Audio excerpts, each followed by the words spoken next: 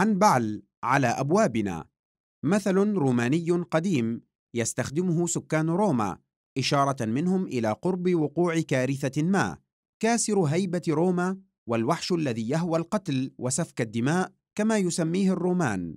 الرجل الذي طلب منه والده أن يقسم على أن يكون رمحه وسيفه موجها دائما نحو قلب روما.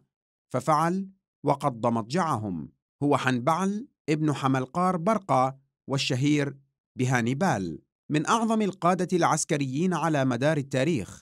عسكري قرطاجي فينيقي تعود أصوله إلى عائلة بونيقية العريقة وقد ولد هذا القائد المغوار في عام 247 قبل الميلاد وله العديد من الخطط العسكرية والحربية التي تم استخدامها في الكثير من المعارك التي خاضها وبقيت شاهدة على قدراته المتميزة حتى يومنا هذا.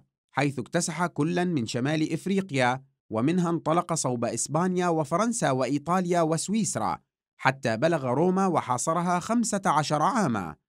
حتى كادت أن تسقط لولا أن ثار عليه القرطاجيون في القرن الأول قبل الميلاد.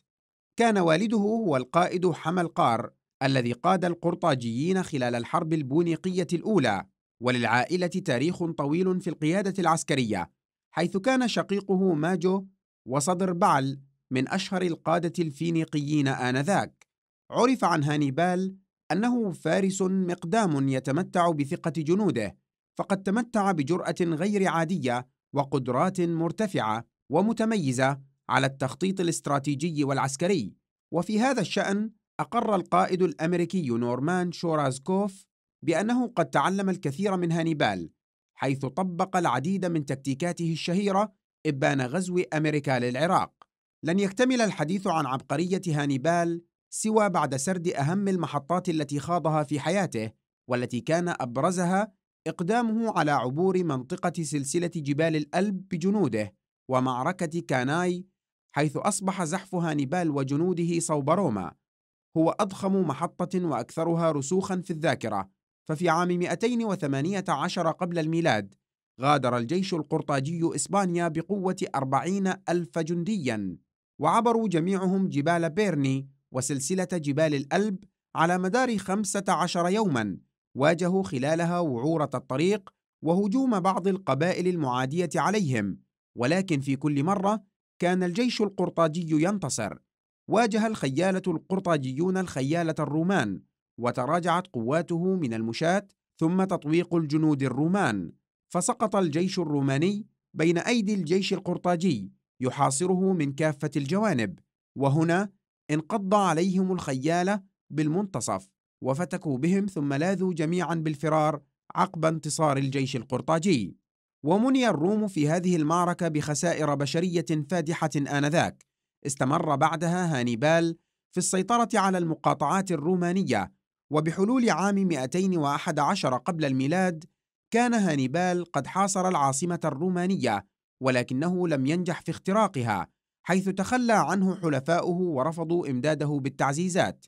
وفي عام 202 قبل الميلاد انطلقت روما لتشن هجوما قويا على قرطاج بقيادة شيبون الإفريقي فواجهه القائد هانيبال بمنطقة زاما ولكنه كان قد وضع في جيشه جنودا جدد لم يستطيعوا المواجهة ففروا هاربين من ساحة القتال. تاركين خلفهم الجنود المتمرسين يواجهون الرومان وحدهم مما أدى إلى مقتل وإبادة الكثيرين منهم. وسقطت قرطاج في أيدي الرومان معلنة نهاية الحرب البونيقية الثانية. عقب انتهاء الحرب عمل هانيبال على إعادة تطوير قرطاج فتمكن من تعديل الدستور وملاحقة الفساد وسعى كثيرا من أجل تعزيز كافة موارد الدولة مما تسبب في قلق روما نحو ما يجري وشعروا بأنها خطة ما لاندلاع حرب أخرى معهم. عملت روما على إبعاد هانيبال فما كان من هذا القائد المتمرس سوى اللجوء إلى ملك سوريا الذي كان في حرب هو الآخر مع روما ومع هزيمته أراد أن يضع خبرته وكافة أفكاره العسكرية في خدمة بلاد الأناضول.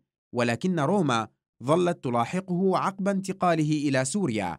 ومارست الكثير من الضغوط على ملكها مما جعل هانيبال يدرك بأنه أسير لا محالة فما كان منه سوى أن أقدم على الانتحار عقب أن أرسلت روما في طلبه ليقدم درسا جديدا لجنوده في التعلق بالحرية وعدم الرضوخ إلى روما. وقد توفى هانيبال عام 182 قبل الميلاد. من أعظم المقولات التاريخية سوف نجد حلا أو سنصنع واحدا.